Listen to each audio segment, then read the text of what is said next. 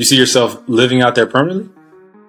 I wish if No? uh, if this if this war with Ukraine and Russia is ever over in my lifetime and it stabilizes out over there, possibly.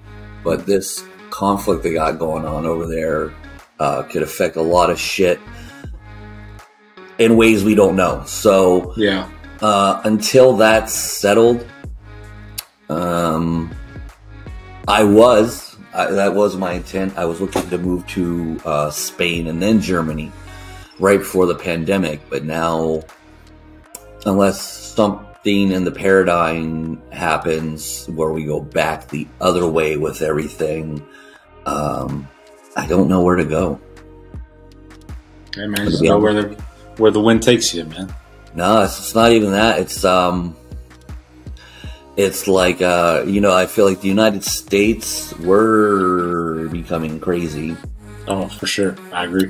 It's like whatever the next election is, we're going in a really bad direction either way. Like it's going to be a bad direction with one party, and it's a bad direction with the other party.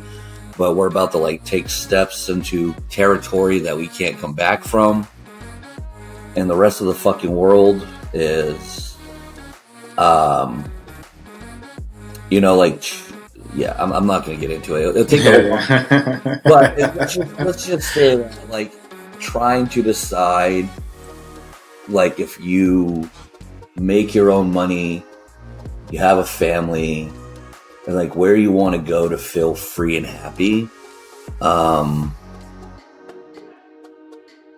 i don't i don't know. And it's happened like in under a year like uh i don't i don't know where to go anymore yeah. really don't. Even you know, Yeah. like Germany, Berlin, like they're really they're very free, but they have a new chancellor now who's kind of right wing and uh, preaching war and shit like that. And uh, it seems like we're at a, at a dangerous time to where like the last World War was what uh, the, was it the fifties? It ended. The forties, I think it was Or at the end of the 40s, right? Like Yeah. 48, 47. So we're 60, 80 years removed from our last World War almost. yeah. So none of these kids understand how how much you don't want war, you know? Yeah. Like uh, when World War II was over in Germany, you know, a majority of males over a certain age were dead. It was, Yeah. you know, it, was it wiped out all old ideology, and all you had left was a bunch of young kids who, who were devastated and traumatized from war, and that's why you've seen a Berlin and a Germany that's been probably one of the most peaceful places over the past 80 years after the um, the Berlin Wall fell down Right. you had a whole generation that was just reminded about shit they never wanted to deal with again. And now you have a generation that's growing up never had to deal with anything.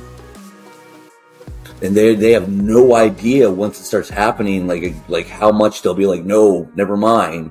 So they're easily, you know, being led with their feelings um, into possibly gearing up Germany to be hostile again. Man, that's crazy. But that's happening all around the world, though, too. Cry.